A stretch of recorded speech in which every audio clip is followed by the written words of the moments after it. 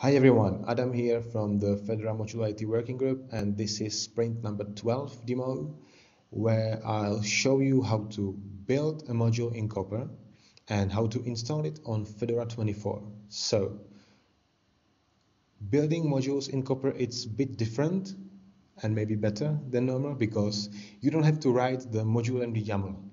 Copr will generate it for you.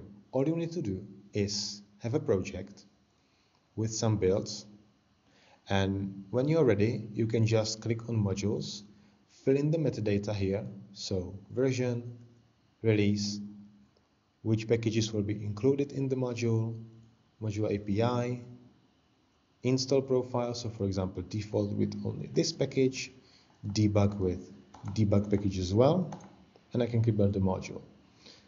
I'm ready to enable it on my machine.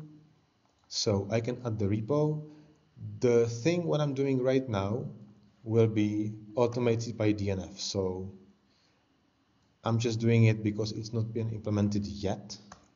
So add the repo here and I'm all set. I can do sudo dnf module list to list all the modules that are available.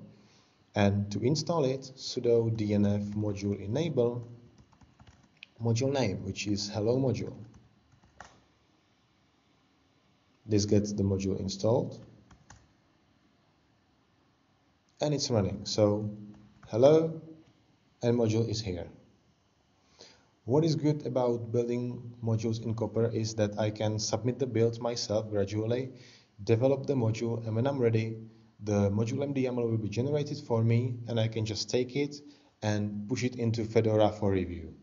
That's it. Thank you very much for watching and see you later. Bye